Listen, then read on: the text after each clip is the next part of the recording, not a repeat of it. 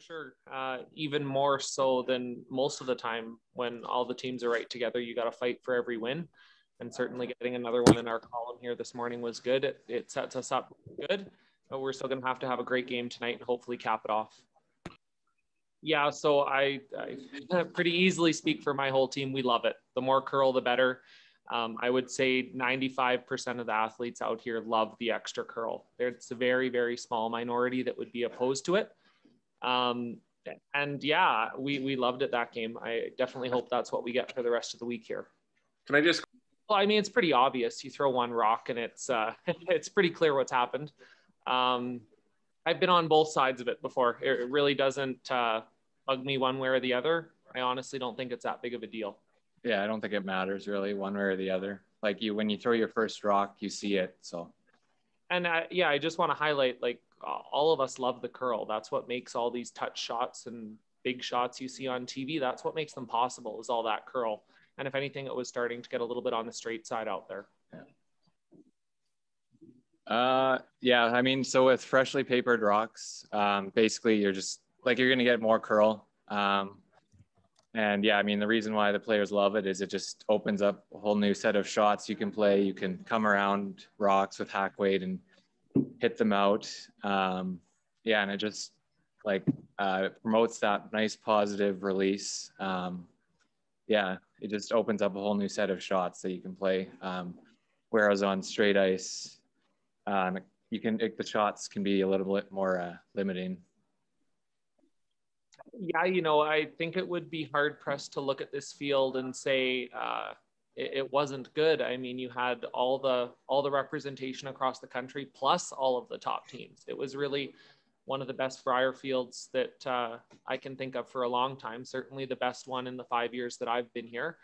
Um, and that really means something. It means that when whoever wins this week, whoever picks up the trophy on Sunday, they will have beaten everyone there is to beat here and that that means something special.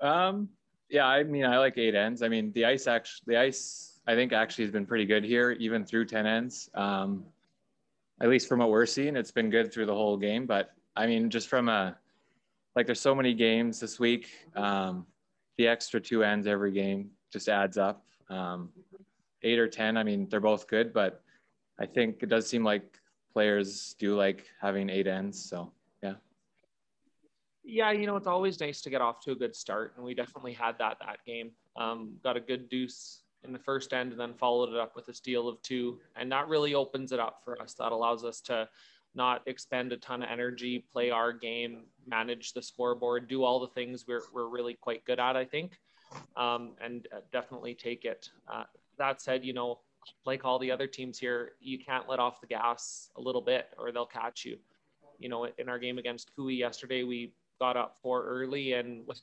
within 20 minutes we were back to uh, almost neck and neck a grind again. So you really got to play well the whole game through, and, and I think we did here today. I think this year's an outlier. So this year, yeah, you could have made an argument that without fans here, without people having purchased tickets to watch the game, um, you lose a lot of the argument for why there's a minimum. Uh, that said, I would hope that this year is the only year we're playing a Brier without fans. So I think you run into the exact same conversation next year. I, I, do think for a lot of the teams, though, this is their one chance a year to get onto arena ice. It's their one chance to play the top teams. And if and if they're really trying to get better and trying to develop and do all those things, I think it's beneficial for them to to play. Um, sometimes it's a little tough on both sides of it. It's tough when you're losing early to keep staying out there. It's tough when you're winning early to stay on the gas. But this is a this is a national championship and it means something. So I, I don't see the issue there. Uh, I mean, I, I guess it it could. I mean, you can always go ask the ice maker. I mean, we did and we knew. So, but that being said, it wasn't. It's not an issue out there. The ice is fantastic. Um, the speed stays the same for the whole whole game. So I don't know where the announcers are coming up with that you know, you could only play eight ends because we played an extra end yesterday and the speed was the same from the first shot of the game to the last shot of the game. So, um, you know, should they have papered them? That's that's not up for me. I mean, obviously we're playing good and we don't have an issue with the ice. So some people might just say that because we're winning, but uh, we didn't have an issue with it today. Uh, so that's that's about all I can say. Yeah, I mean, I think we're we're always in communication with the ice makers. Um, I think that's just our due diligence as curlers, you know, to see what what he's doing, what he might be changing, you know, whether it be temperature or um, you know, if he's doing something different with the pebble or the scrape. Um, you know, it everybody has access to him um, and can ask them whatever whatever they want um, to to kind of get an, an idea or a feel for what the ice conditions are going to be like. Um, so we're we're always talking to Greg, um, just so that you know we are as prepared as we can be for for however he's prepared the surface. Yeah, we'll I'll add in there. We just about ask him every draw what we can expect because you know he can't just do the same thing all the time, right? The conditions change outside. It's super warm here today, so there's lots of variables, right? So yeah, we ask him what we can expect, and he'll, he'll tell us, and he'll tell every team that if they go ask him yeah, I mean, it's, I mean, every game is huge, obviously. Um, you know, we came in today knowing that if we win both our games, then, then we're in the final. So that's, uh, that's kind of what we're focused on. This was the first step of that. Um, you know, we just, we just missed getting the hammer there in practice, but got a good force early. Um, then had a really, really good second end. Maybe, you know, we maybe caught Gunner on a little bit of a fresh spot there on his last and over curled, and we ended up getting three, and then we kind of never looked back. Um, so that's basically how that game went, and we're looking forward to a good one tonight against Wayne. I mean, I don't think it's necessary. I mean, sure, I think I prefer eight ends in the long run, but definitely not for those reasons. Like I said yesterday, I mean, you have two full practices, 11 ends, and the speed is the exact same at the end. The, the surface is great. The ice surface is great. Um, so I prefer eight ends, but not not for those reasons. That's for sure. Yeah, I mean that would be nice. Obviously, I mean the reasons to have eight ends are you know fans. You know, when we do have fans, they come and they pay and you know they want to see some action. So if you have four games that all go six ends, then you know you got probably a bit of an issue there. Um, so I think I think we as curlers understand why we have to play eight, eight ends.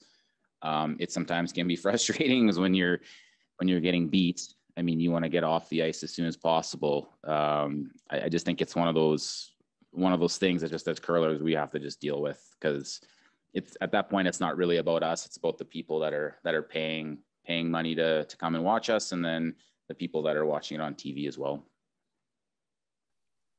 Uh, you know, I, I, think this format is great. Um, I don't think you need three wildcard teams, but you know, this is a abnormal year, right? With nobody being able to play playdowns. I think the format they had the last couple of years is is probably probably the one they should they should stick with. I think everyone should be all the territories and provinces should be represented, and then um, you know have your one wildcard team defending champ and and then everyone gets to play. And then, you know, once you get to the championship round, it, I mean, the curling's unbelievable. So that, that'd be what I'd like to see. Uh, the, the ice was definitely a little different today, but uh, you know you gotta you gotta make those adjustments. I mean, maybe the, the timing of it wasn't necessarily the best, but you know it's the, the whole game of curling's about making adjustments, and and you got to be able to do that. Um, whatever the ice and the rocks, everything throws to you. It's it's all about just making those adjustments. Yeah, I would agree. I mean, uh, yeah, maybe timing and a little bit uh, poor communication, but I guess that's life sometimes. But at the same time, like Maddie said, you got to make some adjustments. And um, fortunate enough, we had Maddie here seeing it well today and putting the boom down well for us with that adjustment. So um, it worked out well for us.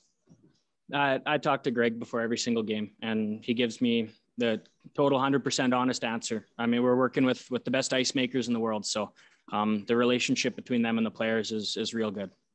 Just a quick fo- sorry, go ahead. No, I was just going to say similar to that. Uh, I've started it a few years ago and try to have that conversation before every game, just to kind of get your mind mind right for what uh, what to expect. Well, I, I can't I can't putt at the best of times, so it's I can't really relate to that um, exactly. but I'll let Kirky take this one. Well, I'm not much of a putter either, but yeah, I would imagine that's probably a, a fair comparison. Is is the practice green was uh, um, was maybe cut and then the the actual greens weren't, and uh, and I, I would imagine that would be the that would be a very good comparison. Yeah, we we had a game plan coming into this one, and we executed it perfectly. Um, right away, we we took took or, we took what the ice was giving us, believed in it right from the get go, and and learn to deal with it and, and make the best of it. Um, nothing nothing changes for this team um, from here on out.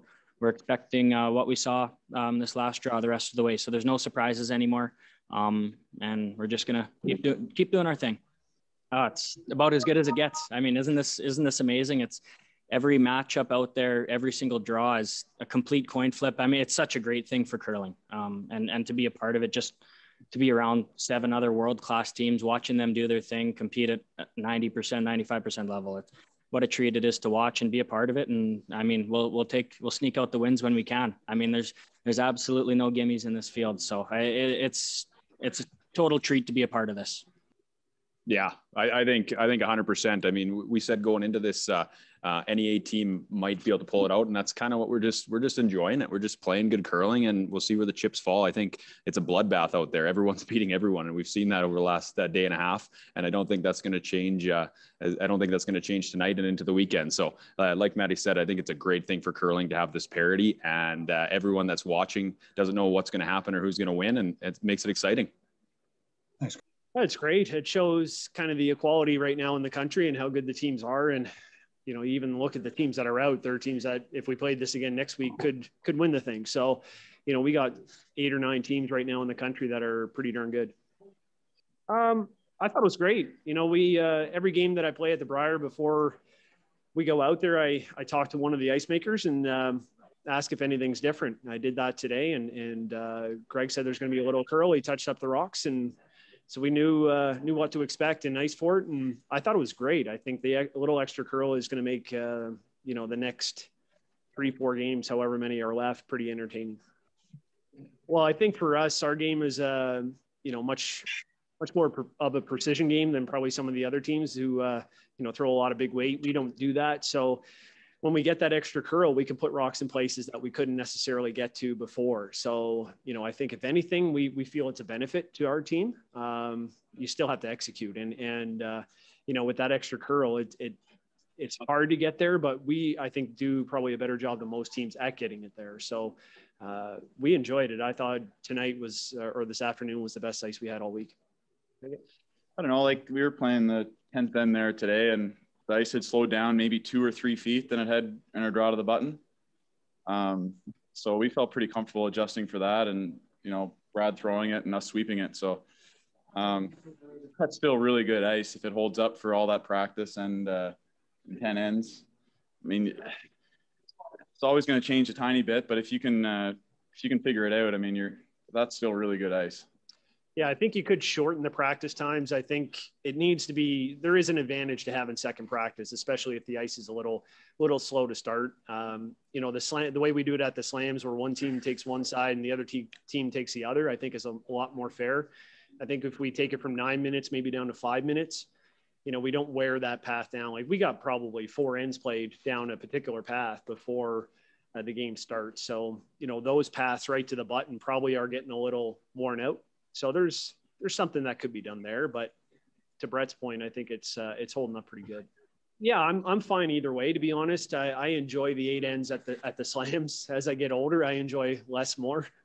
so, uh, but having said that, to have a national championship at ten ends makes it special, and you know the having a little bit of difference there, I, I don't mind it. You see that in tennis where you know the regular tour events sometimes are three sets, and then the the majors are, are five you know, you, you could have some difference between, you know, event to event, just to differentiate them. Um, but I'm, I'm indifferent to be quite honest.